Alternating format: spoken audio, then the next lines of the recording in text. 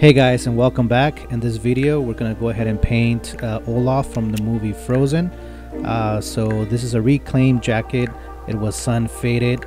Uh, so what I did is I mixed uh, the same teal that you see on there and sprayed the entire jacket, uh, making it uh, pretty much just refreshing the entire jacket. And let's go ahead and get started. So I'm just sketching out some graphics in the background which uh, will allow me to determine where the center of the jacket is and it'll allow me to, um, to, to know where to place Olaf. So uh, went ahead and did that and then applied the stencil and now I'm gonna go ahead and apply some heat so the glue can stick on the jacket. Once it's ready I'm just gonna go ahead and um, cover the jacket uh, background and start peeling each section one at a time.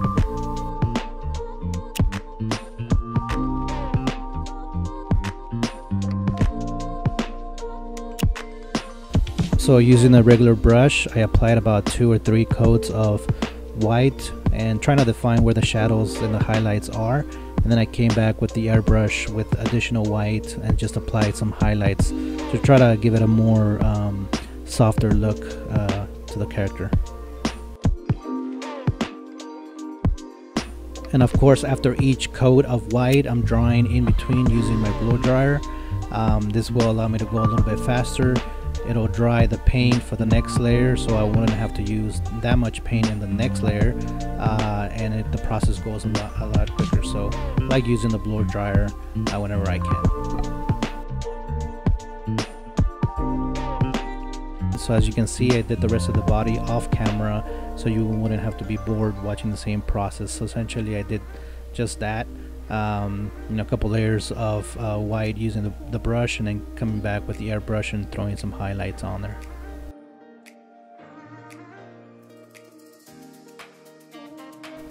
By using both the brush and the airbrush, I'm getting this uh, weird effect where it kind of looks like snow. Uh, it's, it's not super smooth, but it has a little bit of texture, so I kind of like that effect. Uh, so yeah, it's turning out pretty good. Um, I'm allowing a little bit of the blue down there on the feet uh, to showcase a little bit of the shadow there. Uh, and then I'm just removing the um, um, the decal there and getting ready to paint some additional um, darker colors. And right here I'm using uh, watered down royal blue with the regular brush and um, because it's watered down it gets really soaked into the uh, fabric.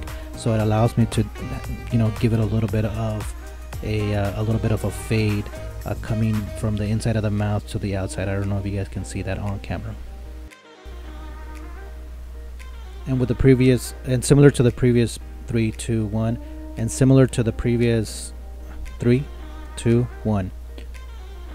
And similar to the previous uh, process I went ahead and applied several coats of white uh, trying to dry in between and trying to get that white as white as I can. I'm also applying a little bit of brown onto the eyebrows uh, and then after that's dry I add a so the brand of paint that I'm using is Createx and it's uh, made for airbrushing. It's a little bit thinner than your normal acrylic uh, it's still an acrylic uh, and it's still water based so um, you can use your off-the-shelf um, acrylic paint that you find in Michaels or Walmart or Target or anything like that. Uh, if you want to use them for airbrushing, you can just add a little bit of water and they'll they'll be uh, they'll work just fine on your airbrush. And now for my favorite part, the nose. I went ahead and started with a medium orange, and then I'm gonna go ahead and work my way uh, to a darker and darker orange. I think that's coming out really cool. What do you guys think? Uh, leave me a comment down below. Uh, hit like if you're liking the video so far. Uh, this way I can keep making videos. And uh, yeah, it looks pretty cool so far. What do you guys think? Cleaning my brush and then applying a lighter and lighter uh, shade of orange. Uh, finishing off with a little bit of hints of white, making the um, carrot look a little bit glossy. And here comes the big reveal. This is my favorite part, uh, removing the stencil and uh, seeing what came of it. So look at that, it looks really sharp.